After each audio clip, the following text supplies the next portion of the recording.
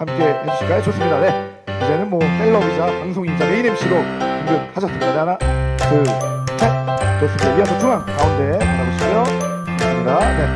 하나, 둘, 셋. 좋습니다. 네. 이어서 오른쪽 네, 보시면서 함께 할까요? 네. 하나, 둘, 셋. 네. 나는 이제 아나운서에서 프리 방송인으로 나왔다. 함께 하겠다. 자, 자신 있는 포즈, 마음껏 누릴 수 있는 포즈. 이거 진짜 엄청 많이 나갈 거거든요. 하고 싶은 대로 한번 보여주세요. 네, 좋습니다. 네. 어, 슈퍼 히어로답게 하나, 둘, 셋. 허리는 그안 들, 안 흔드십니다. 괜찮은 것 같은데. 네, 정지. 왼쪽, 왼쪽 기자님, 왼쪽, 왼쪽 보시고 똑같은 포즈. 네, 좋습니다. 하나, 둘, 셋. 아우, 네. 좋아요. 안 할 걸 그랬네요. 네. 마지막 오른쪽, 오른쪽. 어우, 좋습니다. 네. 다시 한번 하나, 둘, 셋.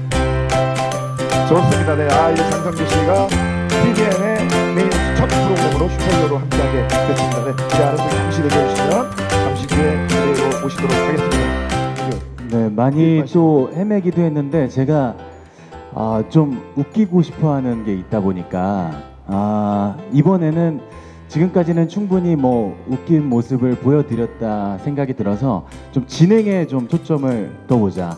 어 장성규 진행도 되는구나 오, 이런 생각으로 갔는데 철저한 진행 중시. 저도 모르게 이제 또 웃기고 싶어질 때가 있잖아요. 그럴 때 이제 김구라 씨께서 혼내주십니다.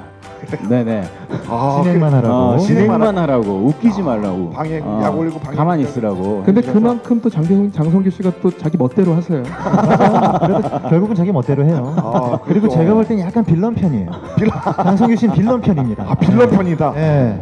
어, 네. 그럴 것 같은데. 저도 워낙 놀리는 거 좋아해가지고 그러니까요. 약간 어. 마음이 갈 때가 있는데 그 중심을 잘 잡는 것이 저한테 가장 큰 과제가 아닌가 그렇죠. 그리고 이제 음악 예능하면 히든싱어 전현무 복면가왕 김성주 맞습니다. 슈퍼히어로 장성규 이렇게 음악 예능하면 생각나는 MC가 되는 게 또 제 목표이기 오. 때문에 하여튼 진행을 잘 하는 모습을 네. 보여드리도록 하겠습니다. 오, 네.